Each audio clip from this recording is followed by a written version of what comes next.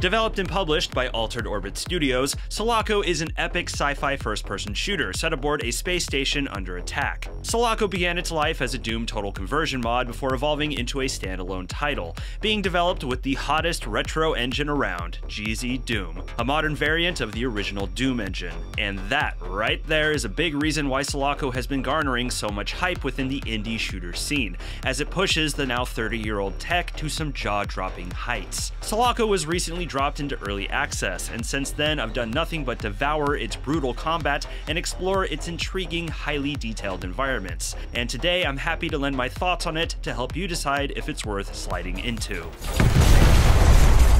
But before we get started, I want to give a big thank you to Altered Orbit for providing the review code. Alrighty, let's get pretty and paint the walls pink.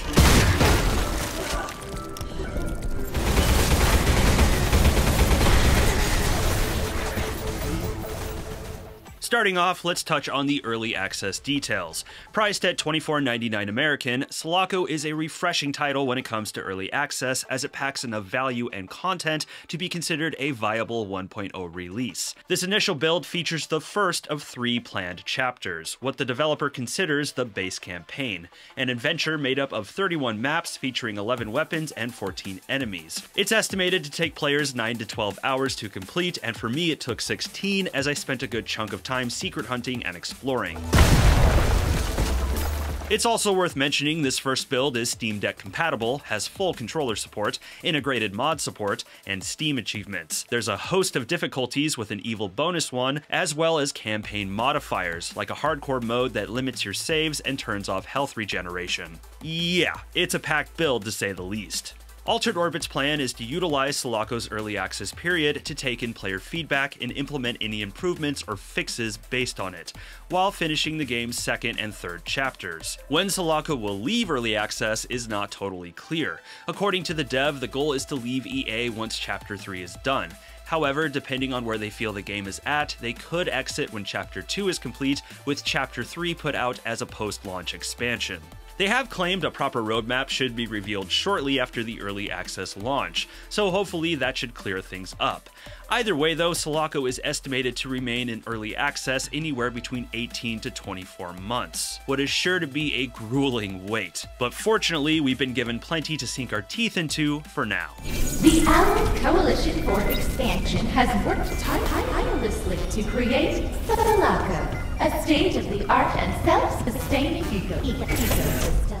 Selaco takes place on, well, the Selaco, Selaco Space Station to be specific, harboring the last of humanity, escaping a catastrophe that has claimed Earth. You play as Dawn, a high-ranking member of ACES, a military force tasked with keeping the Selaco safe. The game begins with Dawn waking up to explosions and gunfire within a hospital room, a get-well-soon balloon tipping us off that she has been recovering from some incident that landed her there. Selaco Station is under attack by a mysterious force of pink-blooded soldiers, ruthlessly slaughtering everyone in their path, leaving Dawn no choice but to get things under control. Bruises and bandages be damned. Selaco is very much in that System Shock Half-Life school of storytelling, where the narrative is conveyed experientially, through visuals and good old-fashioned data logs and plenty of informational pamphlets. It's a style of storytelling that will appeal to shooter fans that prefer the narrative be optional. However, those that take the time to dive into it will not only become familiar with the everyday lives of Selaco residents, but might be able to piece together what exactly is going on. And even if narrative is ignored, it's hard not to glean specifics of living in Selaco and what keeps the station afloat, so to speak. As a sci fi fan, I found Selaco's speculative take on the far flung future to be fascinating. Unfortunately, this chapter does end on a cliffhanger, leaving me with more questions than answers, but I feel this is the beginning of a rich sci fi universe that has me eager to see what's next.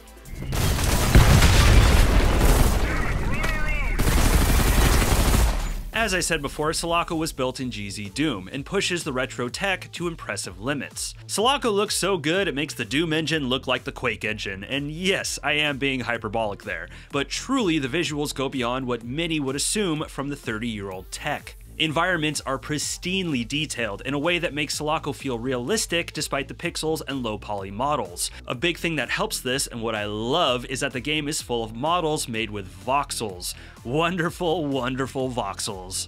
I'm not sure why I love voxels so much. Maybe it's the fact that they make sprite work feel more tangible with their little retro cubes, or maybe they poke that part of my brain that loves scale models and miniatures. But either way, this game is overflowing with them and they look fantastic. Everything from french fries to heart monitors, office chairs to piles of snow, coffee cups to yoga mats. Hell, even the bullets are made of voxels, and they give the world so much character. That's not to mention the interactivity with them. We've seen plenty of shooters let you interact with pool tables and pool balls, but how many actually throw in a simulation aspect? Whew, that was close. The icing on the cake is a bevy of beautiful effects like reflections, soft shadows, particle effects, and lighting. I wouldn't say Selaco has dynamic lighting, but it does a decent job of faking it with things like your flashlight. But the technical aspects are one thing. What makes Selaco's visuals so captivating is the art direction and attention to detail. Despite being made with 90s tech, Selaco looks nothing like a 90s game, aiming for a sleek, modern sci-fi look that is right in line with today's sci-fi media, with some anime influence. You can really tell that Altered Orbit was striving to make this station feel like an actual place that humans inhabit.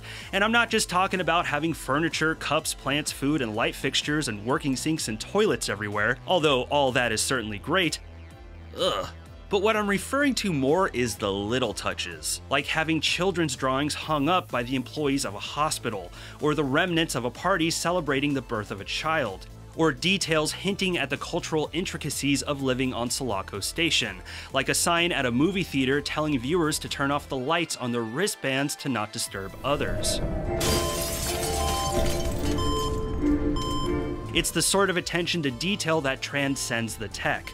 Like, if this was made in a modern engine, let's say Unreal 5, with the same attention to detail, it would give most AAA games a run for their money. Honestly, this is the type of work I would expect from an Arkane Lyon or Kojima Productions. And just to be clear, I'm not talking about fidelity. I'm talking about the amount, polish, and depth of the detail put into this game, and how well it immerses you in the experience. Selaco checks all of my boxes when it comes to graphics, and any criticism I can scratch up are the nittiest of picks. For example, while each area of Selaco does feel distinct, it can feel a bit samey, seeing as you are going through a lot of dim, blue-hued hallways and industrial maintenance areas. Although to be fair, the last few areas do shake things up a bit. And since this is a Doom engine game, you do hit some limitations of the engine, like the occasional texture that's a hair too pixelated, or some of the advertisement artwork being noticeably low resolution. Oh, sup, G? Performance can also have some potential bumpiness. For the most part, my experience was smooth sailing, however, there were frame dips during heavy firefights with lots of particle effects. Not abnormal, but still not the best. To be fully transparent too, I was traveling while reviewing this game and played a majority of it on a mid-level laptop that did require some settings tweaks to keep those frames steady. On my high-end machine back home, I was able to run on ultra settings with minimal minor frame dips. So overall, I do think the game is well optimized, but it could vary from player to player. Touching on audio last, the sound design also gets similar high marks. Every area of this game has a rich soundscape that makes the game more believable. Walking through most hallways, you'll hear the hum of ventilation systems, alarm bells going off, sparks from damage, and the distant gunfire and explosions of the station's invaders. Like, let's just take a second to listen to just how much can be heard.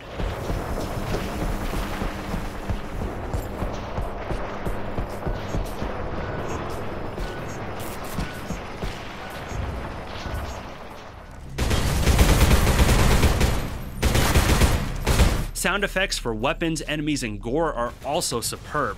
The weapons sound thunderous and lethal. Enemies speak and react realistically, and the squish of flying guts and pink blood will make the psychopath and all of us gleeful. Not to mention the sounds of bullets ripping through glass, paper, and plastic during frantic shootouts is, ugh, delicious audio chocolate.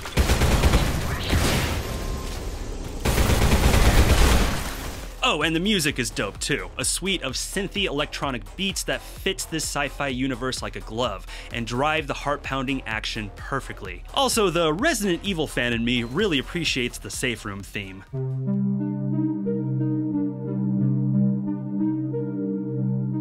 Overall, the presentation here is a magnificent example of what can be done with GZ Doom, and a testament to the efforts of the Doom modding community.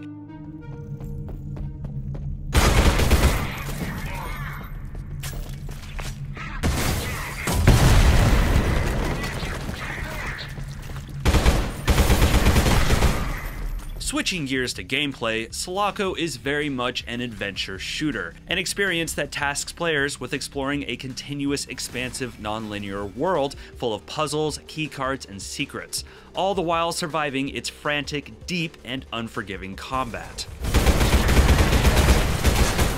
While Selaco was built with the tech that gave us Doom, its combat does not attempt to emulate it, presenting a more contemporary FPS experience. Inspired heavily by 2005's Fear, developed by Monolith, something that may surprise some going into it thinking it's just another good old boomer shooter. Oh sure, Selaco has its run and gun qualities, and the action is nothing less than bombastic and bloody, with intense shootouts leaving environments in tatters and enemies in pink puddles. But overall, the combat leans a little more tactical, where precise shots and adequate cover are often more effective than quick reflexes. The shooting feels excellent and is loads of fun. Each weapon feels powerful and poppy, with the frantic enemy damage effects really making you feel like you've done some damage. All that being said, your starting weapons are initially not all that amazing. The assault rifle being the most well-rounded, with the magnum and shotgun bringing some power, but slow to fire and reload, with a missed shot likely meaning your end. As you progress though, you're able to upgrade your weapons in various safe houses scattered throughout the station, as well as collect mods for them, giving them deadly perks, as well as multiple alternate fires, allowing you to equip yourself for whatever challenge the game throws at you. And the late game weapons I unlocked brought nothing but smiles.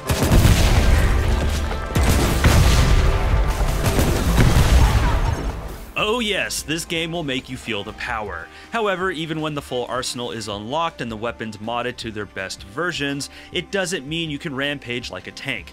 Nope, these baddies will always have a way to counter and easily defeat you right up until the final hours. This is not a game where you can circle strafe and hope for the best. No, this is a game where you have to think smart, think fast, and be efficient, or else. Enemies are intelligent and ruthless, with the itchiest of trigger fingers. While at times you'll have the opportunity to sneak up on them or around them, once you are spotted, these bad guys are not only effective at hunting you down and flanking you, but also protecting themselves, quick to dive for cover and not shy about lobbing grenades. Most combat encounters, I felt like I was barely surviving. It was always stunning just how quickly baddies could melt my health and armor away, to the point where I debated if they were a little too punishing in their behavior. and the game revels in making them tougher as you progress, unlocking invasion tiers that buffs them with shields, more powerful ammo, or elite variants that can buff surrounding enemies further. For some, this will keep the game invigorating and heart pumping. For others, it may lead to a consistently frustrating journey. For me, it was the former. The evolving challenge kept the game far from boring. But there were plenty of times I found myself stuck on a skirmish, frustrated with repeated deaths, and looking for alternate means of survival. But therein lies another of the game's positives, as this often revealed creative means of cover I could utilize, access to a better vantage point, or different means of defense. Each area is full of options to help you, and the masterstroke here is that they feel organic to that environment. The combat might not be everyone's cup of tea, but for me it was challenging, rewarding, consistently surprising, and incredibly enjoyable.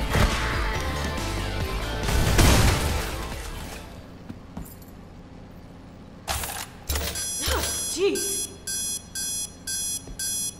Now, some may be surprised to find that Selaco is not wall-to-wall -wall combat. No, the game is actually paced more akin to an immersive sim. In between skirmishes are plenty of lengthy stretches where there's no combat, and the player is left to explore and solve puzzles. And I have to say I look forward to these moments just as much as the combat, because Selaco Station is so much fun to explore and learn about. Once again, Altered Orbit have done an incredible job of making this place feel like a place. However, it's in these quieter moments where the game can trip up. Because the objectives can be on the vague side, there were quite a few times I found myself just plain lost and confused, helped in no small part by the more open, non-linear map layouts. Majority of the time, I was able to figure things out before getting frustrated, and utilizing the feature-rich map system does much to help you. But a handful of Selaco's objectives I would say were too confusing, with one having me running in circles for an hour before I stumbled on the solution that was far from obvious. It's not like I need my handheld, but I think more signposting and clarity would be a good thing all around. Speaking of navigation, eventually players can unlock a fast transit system that lets them return to previous areas, listing out any items, secrets, or locked doors they have yet to uncover, a handy feature as finding all secrets unlocks a special level. However, this does bring up one of my criticisms. While backtracking and secret hunting was worth my time, leading me to valuable upgrades, the process of doing it felt like a chore. The main culprit is that the game makes you go through an entire one minute tram ride without the option to skip, sandwiched between a shorter but also unskippable elevator ride. When you really get yourself into a secret hunt grind, the wasted time here can really add up and start to feel annoying. And on top of that, backtracking through the old empty levels can feel mundane, especially when you unlock a room that's just full of ammo and currency. This is one aspect of the game I hope the devs streamline in the future and perhaps find a way to make a little more exciting.